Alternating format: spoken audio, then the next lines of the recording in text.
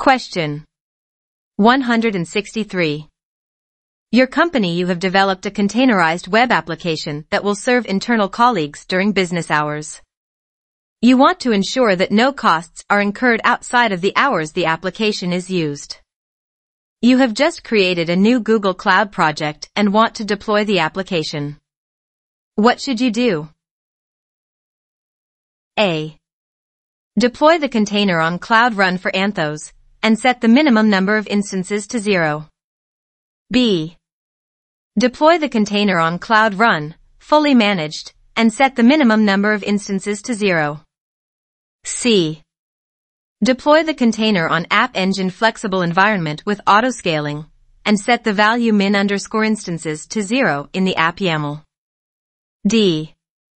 Deploy the container on App Engine flexible environment with manual scaling, and set the value instances to zero in the app YAML. Now take 10 seconds to think about the answer.